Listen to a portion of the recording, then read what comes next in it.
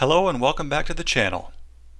In this tutorial, we'll learn about creating an alignment with the Alignment Layout Tools toolbar in Civil 3D. Let's get started. In this exercise, you'll use the Alignment Layout tools to draw an alignment that has curves.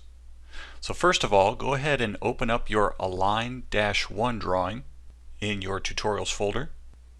Now this drawing contains a surface that has several circles that are labeled A to D. Now ensure that your OSNAP is on by clicking this button right here.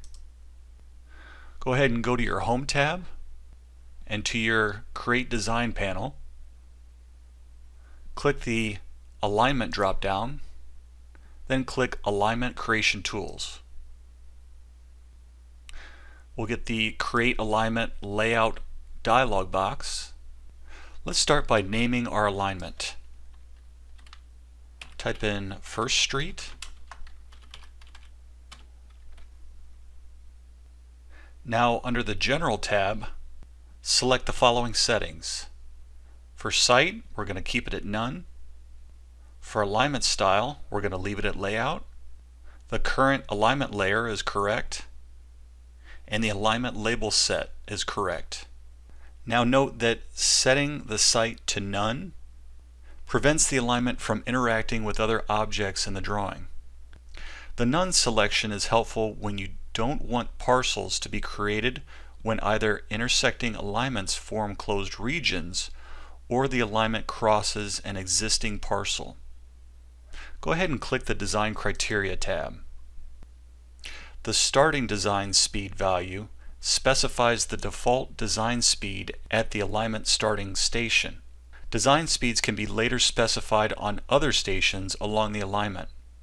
If no other design speeds are specified, the starting speed is applied to the entire alignment. We're going to accept the default starting design speed value for this exercise. Now the other options on this tab are used only if you want to ensure the alignment design meets specified design criteria. Do not apply design criteria to the alignment in this exercise. You'll learn how to use the design criteria feature in another exercise. Go ahead and click OK. Now the Alignment Layout Tools toolbar is displayed.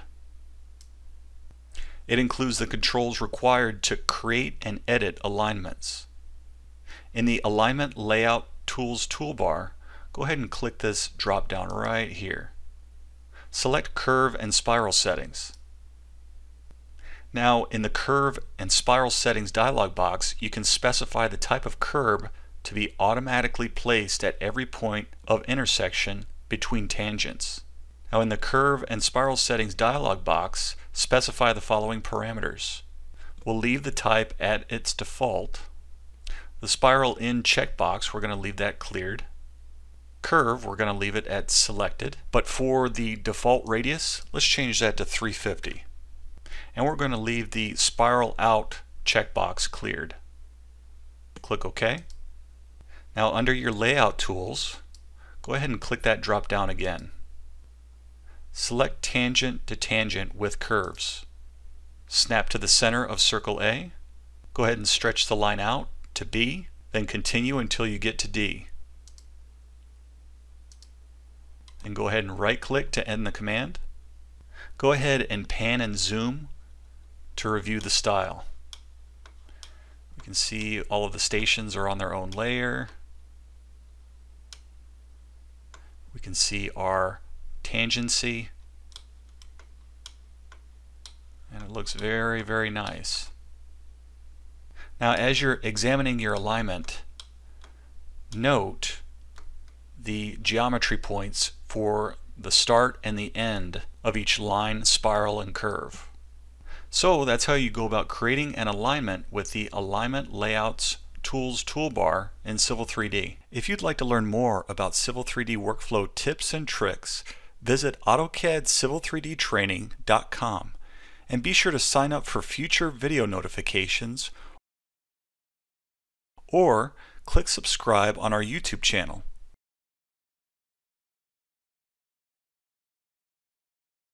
Again, My name is Charles Ellison.